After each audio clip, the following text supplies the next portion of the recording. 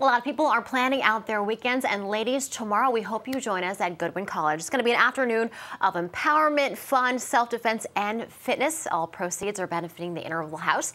President and CEO Mary Jane Foster is joining us now to tell us all about it. We hope you Thank join you. us. We're both going to be there tomorrow. Yes, this we are. Event. Yes, we this are. is really exciting. I'm really looking forward to it. Oh, I think it's going to be a lot of fun. Mm-hmm. It's um, it's a way to bring awareness to domestic violence, awareness to the uh, Interval House, so that people know that we're here as a resource Mm-hmm. uh, for victims of domestic violence. But it's also to come together as women and celebrate who we are in a way that um, is filled with fun and fitness and some healthy snacks and.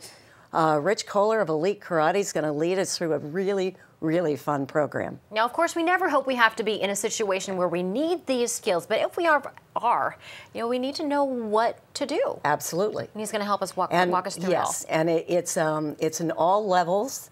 Uh, fitness routines, so you don't have to be an expert or a karate person or any of that Right, stuff. you don't think you have to be in a certain Right. level of physical It- fitness. it's about just be being self-aware and taking care of yourself. Right, and knowing that you do have the power to change it. Absolutely. And this is particularly important. Um, it is Domestic Violence Awareness Month. Yes, it is. And uh, this is our first annual event. We're launching it uh, tomorrow.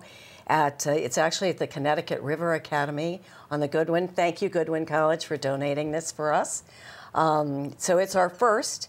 We hope to bring awareness to the east side of the river, if you will. Interval House represents 11 towns east of the river, and uh, as well as uh, another 12 towns on the other side of the river.